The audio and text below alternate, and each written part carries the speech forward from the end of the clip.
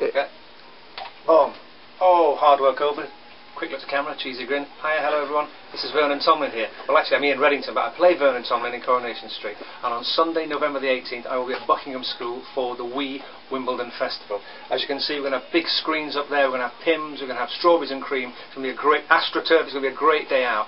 And all the money raised goes to the Bobby Moore Fund and other charities. It's a doubles game. You can come with your dad, your granddad, your aunt, your dog, whoever you want.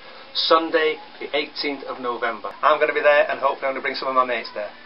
Hope to see you there.